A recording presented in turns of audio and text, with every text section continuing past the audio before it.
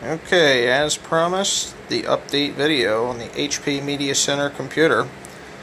Many of the parts have showed up today, so I figured I would do a video of some progress made.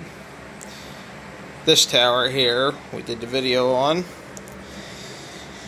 And as promised, here is the new motherboard. Looks like it was made for the case In fact, it actually fits better than the stock motherboard. There's, you know, there's some extra room to run all the cabling so that it's not too cramped in here. And, uh, you know, I put this uh, all together in about 40 minutes, taking my time. I worked all day and I'm tired. Been up since 4:30 a.m. Got to get up again 4:30 a.m. and start all over again tomorrow. So, took my time on this one.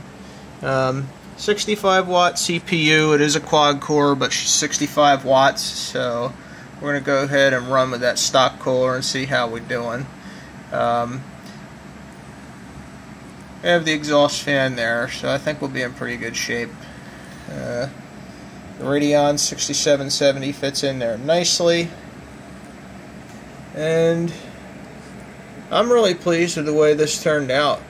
Um, like I said, this case is in excellent condition, and we're probably going to be doing a first power up on this probably tomorrow after I get home from work. Tomorrow or the next day, uh, whenever the power supply comes in.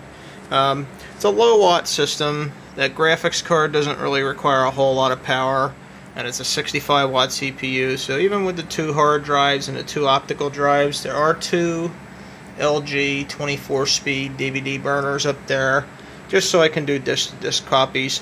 I know I probably don't need them with a one terabyte hard drive, but they were cheap and affordable, so and the LG drives are very reliable. I've used them. I know a lot of people that have used them. They've never had any problems with them. So, um, power supply is en route. It was back ordered, but they shipped it out today. So hopefully maybe if not by tomorrow, hopefully by week's end we'll be doing a uh, video of this thing in action and uh, maybe some Windows 7 benchmarks. I do have a copy of Windows 7 Home Premium 64-bit. It's just going to be a daily use computer so we don't need the professional version. I already have that on another one of my computers anyway if I even need it. So uh, that's the updates for now. Stay tuned. There are more to come.